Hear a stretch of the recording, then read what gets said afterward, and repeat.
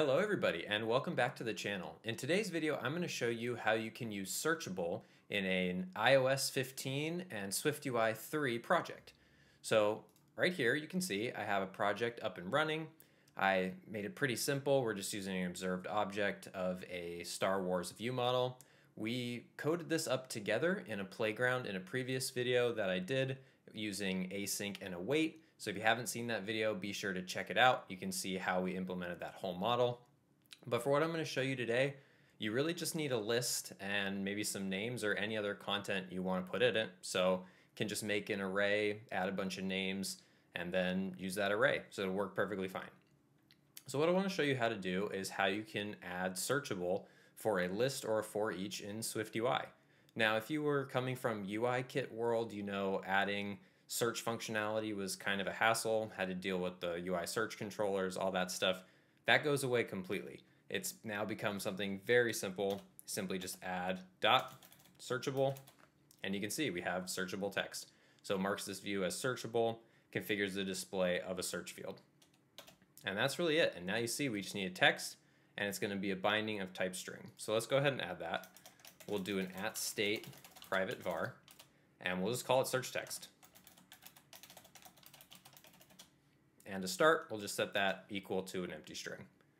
And now we simply pass it in.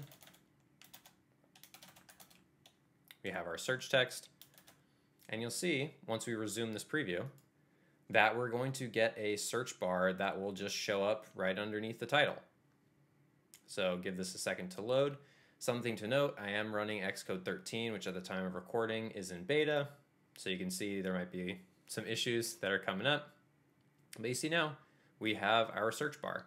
So if I go ahead, once this loads, you can actually see we're getting the names of characters from the Star Wars universe. So we're communicating with the SWAPI API to get that.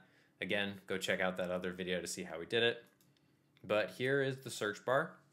And you can see once you start typing, nothing's happening. That's because we haven't actually implemented our functionality for using search. So let's go ahead and do that right now. So what I'm going to do, I'm going to create a variable and I'm going to call it filtered people. And this is going to be, in my case, an array of type person. Person is something we created as part of this Star Wars view model. And let's actually work this out. So if our search text is still empty, just return everyone in the list. So return Star Wars VM dot people.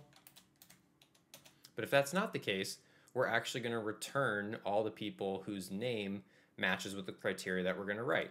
So we'll do return uh, the Star Wars view model dot people, and we're going to use filter. So we'll filter and we'll do dollar zero dot name. So if the name, and we'll use lowercase. So we don't care if people are typing in capital letters, lowercase letters. Doesn't matter if the letter's the letter, it's going to match. Dot lowercase dot contains search text dot lowercase then return those people who match this criteria. So this is just saying if the name of the person in the list, if a letter in there matches with our search text, return those people. So let's go ahead and try it. So hit resume.